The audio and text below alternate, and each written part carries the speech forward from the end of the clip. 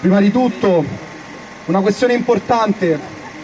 Non è un caso che una manifestazione contro la guerra imperialista in un momento come questo, così, una manifestazione così arrivi, arrivi oggi a Niscemi, proprio qui. Perché? Perché da decenni si porta avanti una battaglia fondamentale contro la guerra tutti i giorni, consapevoli che ci sono delle condizioni che portano alla guerra e quindi prima di tutto un grazie al movimento No Muos da parte del Fronte della Gioventù Comunista per questa manifestazione che è fondamentale oggi. Ci troviamo a fronteggiare una tendenza alla guerra.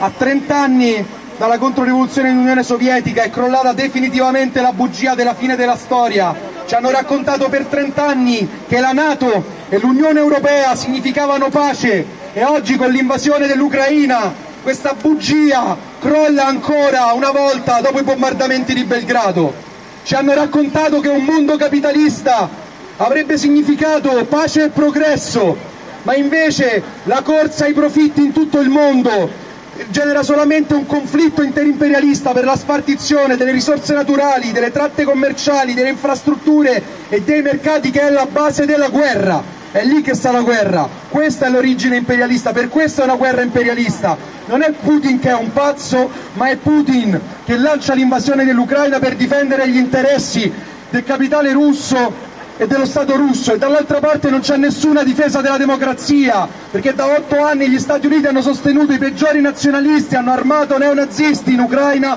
per sostenere l'espansione a est della Nato e questo lo pagano i popoli, questo lo pagano i lavoratori di tutti i paesi, dei paesi coinvolti dai lutti della guerra e dai popoli che vengono affamati per finanziare la guerra.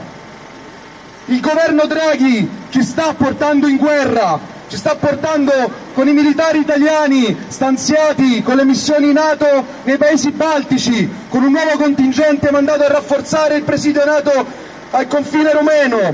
con i finanziamenti di oltre 200 milioni, mandando le armi all'Ucraina, come se questo potesse portare la pace. Draghi, il governo Draghi e il PD si sono messi l'elmetto e fanno la propaganda per la guerra dietro la bandiera della pace, seminando una mobilitazione nazionalista che vogliono sedimentare, così come la Germania che ricorre all'armamento dopo 80 anni, che vogliono sedimentare anche oltre questo conflitto, in una tendenza alla guerra generalizzata che rimarrà anche dopo, perché vogliono mobilitare i popoli a sostegno dell'opzione militare anche nella risoluzione di contesti che non riescono più a gestire con la diplomazia.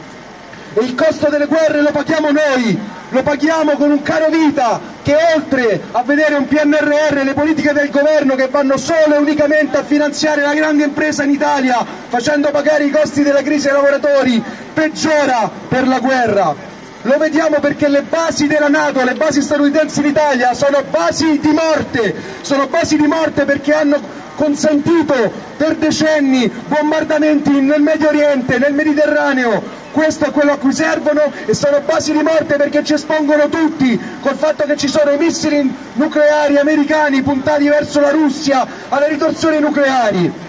E allora contro tutto questo dobbiamo dire una parola d'ordine molto importante, che lottiamo contro la guerra imperialista, ma lottiamo anche contro la pace imperialista, contro la pace armata che fanno tutti i giorni con i finanziamenti militari anche quando non ci sono le guerre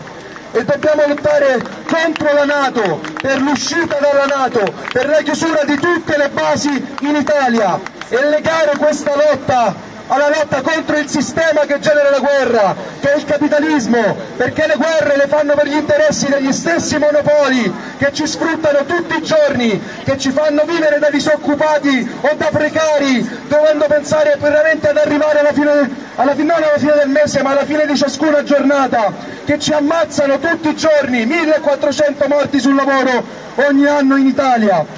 che portano lo Stato a portare la stessa repressione contro i movimenti contro le basi militari in Sardegna, contro il movimento Nomuos, contro il movimento Notav, contro le lotte sociali dei disoccupati organizzati a Napoli, contro i lavoratori che picchettano i magazzini e le fabbriche o che le occupano contro i licenziamenti. Ebbene, intensifichiamo questa lotta, intensifichiamo la lotta contro la guerra imperialista. Dal nostro punto cercheremo di portare questo impegno ancora tutti i giorni nelle scuole, nelle facoltà, nei luoghi di lavoro, nei quartieri popolari, per far crescere questo movimento in tutti gli impegni che ci saranno da qui in avanti.